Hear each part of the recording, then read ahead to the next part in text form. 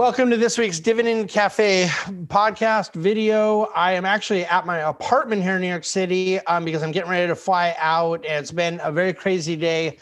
And that might be one of the reasons that this podcast will end up being a little bit more rushed than I wanted it to be. And it's definitely the reason why, uh, for the second series in a row, I had to turn the topic of this week's Dividend Cafe into a two parter.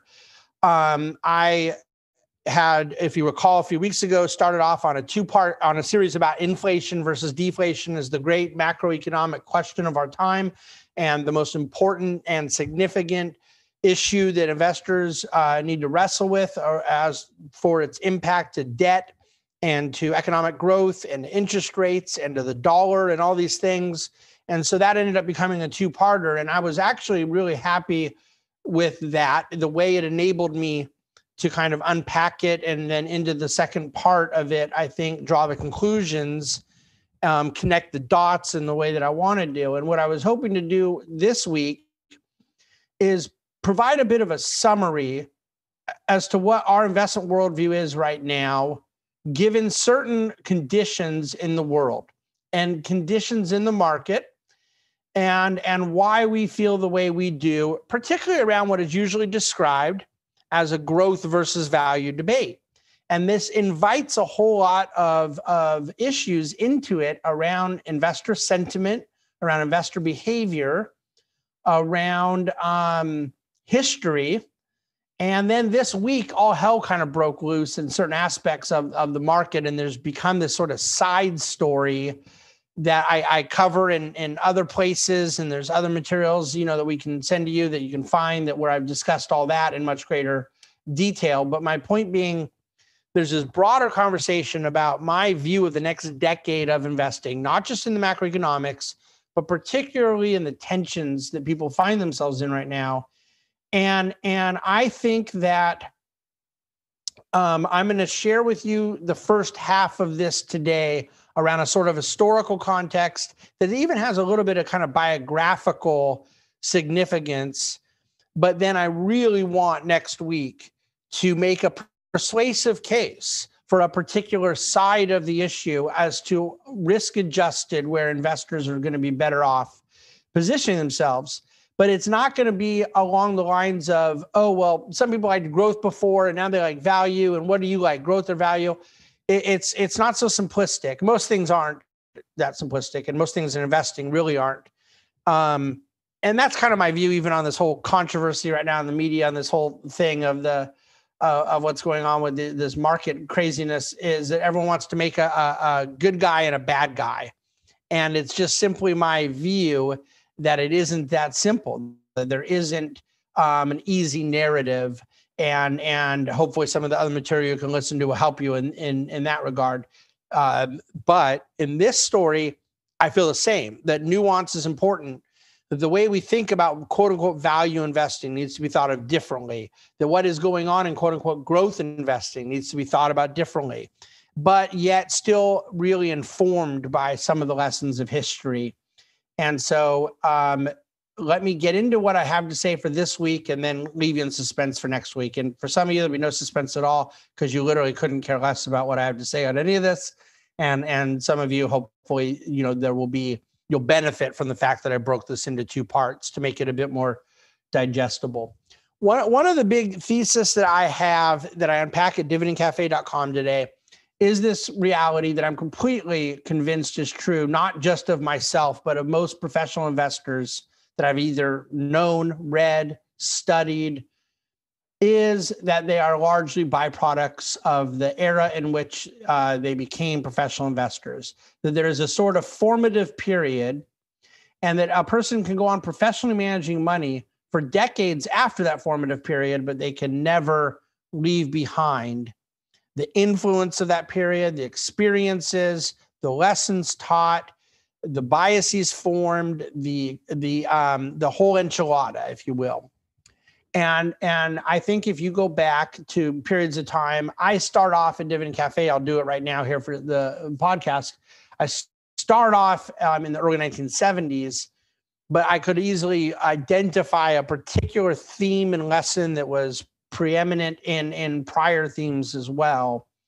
But the nifty 50 idea that was so big coming out of the late 60s and in and post-war america uh, some of these gigantic blue chip companies and and how that ended with these companies that supposedly could never go down and just were so strong they were untouchable and the just carnage that was really created in a lot of blue chip stock america in in the early in, from 1972 to 74 let's say. And and I, think that that impacted the way an awful lot of people viewed equity investing in America for very good reason, for very understandable reasons. It certainly affected the way a lot of professional money managers um, transact and think and operate. Almost immediately after that era, we went through a sort of stagflationary period. Um, you could describe it as inflationary, but it really was inflationary in all the bad ways, and yet very, very poor economic growth. And so, hence the term stagflation and you had rising commodity prices. And and there were a kind of generation of gold bugs that came out of that era. Um, there was inflationary pressures that pushed bond yields up. You recall mortgage rates being in the mid-teens. Uh, you had 30-year treasury bonds very close to 20% 10-year bonds well above 10% and that era does in, in with the context of history look much more like an anomaly.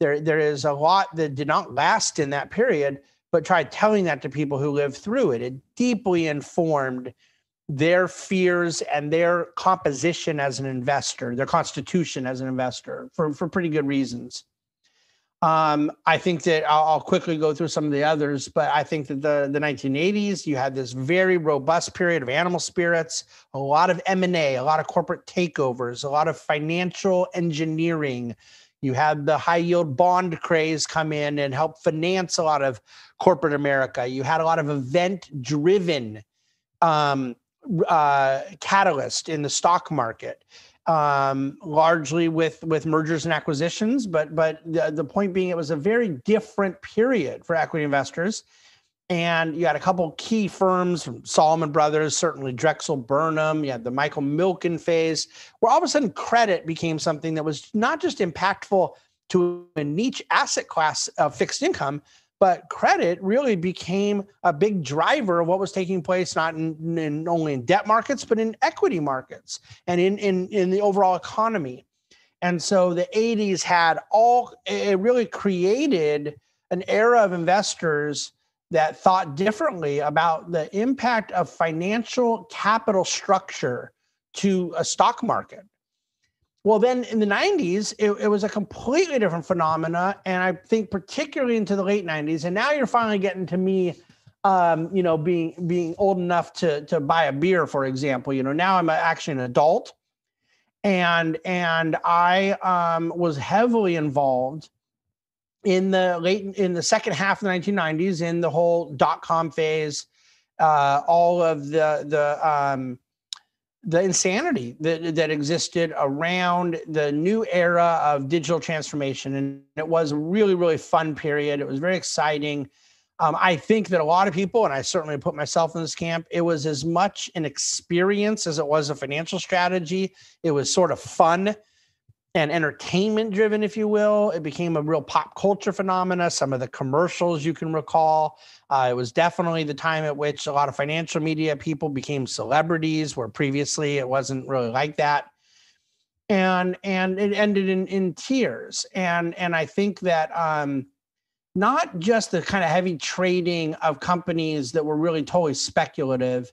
That's a big part of it too. We see some of that going on now but even really, really big companies that were really powerful, that were really profitable and, and became even more profitable, and yet their stocks dropped 85%, 50%, 60%, stayed down for years and years. Some of them still down to this day, not back to the, the levels they were in 1999, still to this day. Some got back to those levels, but it took 15 years or so, right? And I'm talking about huge names like household company names. I'm a byproduct of that era. I entered my career as a professional investor utterly convinced that there had to be a better way than what I had been doing and what so many American investors have been doing in the 90s. And yet, um, I needed to research and understand and comprehend what that really looked like, what the right path forward was. And one of the great advantages I had, um, uh, you know, as I was kind of entering this period of needing to be a mature um, investment manager, is I had gotten married, which means I had grown up. Okay. So now I'm married. I'm now working for a big Wall Street firm and, and instead of day trading my own account with a broker. And my journey out of the lessons learned from dot com's implosion was that the um uh, that there was a fundamental investing that was going to help me avoid blowing up my clients and help me blowing up my own balance sheet. My balance sheet back then was was nothing like what it is now. Um, so I was lucky. I was in my 20s in the 90s and I could afford big losses. And I assure you, I had big losses. But I, entering the sort of adult world of being a professional money manager, believed that there needed to be something better. And it's where I discovered the world of dividend growth. And, and right now, there's this big conversation taking place around value versus growth. And I'm going to have a lot more to say about that next week. I do believe it's pertinent that value and growth have achieved the same return um, for 40 years. And yet we're right now coming off a 10 year period where growth has outperformed value by 10% per year. I think that suggests there are price disconnections that are going to revert to the mean. But I also believe that we want to look at what is different, what isn't different, and how to apply that in the context of investment portfolio. And I've adopted a worldview of investing through an unbelievably rigorous intellectual journey um, I wrote a whole book about that. I built this whole business about that the Bahnsen Group has adopted and formed and grown with other advisors and colleagues, all with the shared mission of dividend growth. Because I believe that it does not require one to have this binary view of picking between bargain basement prices or or growing companies. That that in fact there exists an ability to both measure, gauge, and benefit from um, companies that are are reasonably priced and um, have the growth outlook one would want for the risk they take in an investment. Um, right now, we live in interesting times because the most popular investments have a certain risk that we need to look at, and the um, less popular investments have valuation metrics that may be deceiving. Um, and and so I think it's a time in which us really carefully calibrating historical realities, the present uh, circumstances. I have charts uh, this week showing the big increase of retail participation. Small investors have opened 37 million accounts, and what that means and what it may not mean. You know, get, allowing you to kind of suggest, uh, to, to contemplate for yourself what some of those takeaways may be. Um, next week, we'll pull all of this more together I'll, I'll put a, a, lot more data out there on the value growth dynamic and then apply it into what we're doing here at the Bahnsen Group. Um, so I hope that this kind of historical lesson is of interest and benefiting you. And then I hope that it leaves you wanting a little more next week. But uh, just because of time concerns and the utter insanity of what I'm dealing with here today, that's that's where we are. Okay, thank you very much for listening to and watching the Dividend Cafe. Reach out with the questions anytime. Have a wonderful weekend. We look forward to bringing you part two next week.